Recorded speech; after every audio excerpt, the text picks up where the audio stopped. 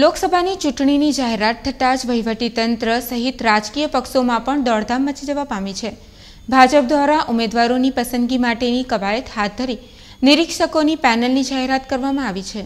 બે હજાર ઓગણીસ લોકસભાની ગુજરાતની છવ્વીસ બેઠકોના ઉમેદવારોની પસંદગી માટે પ્રદેશ ભાજપા દ્વારા કવાયત તેજ કરી દરેક બેઠક માટે ત્રણ ત્રણ નિરીક્ષકોના નામની પેનલની જાહેરાત કરવામાં આવી છે, જેમાં ભરૂચ લોકસભા બેઠકના ભાજપના નિરીક્ષકો તરીકે જિલ્લા પ્રભારી મંત્રી પ્રદીપસિંહ જાડેજાની ઉપરાંત પ્રફુલભાઈ પાનસેરિયા અને અમિતાબેન પટેલની નિયુક્તિ કરવામાં આવી છે.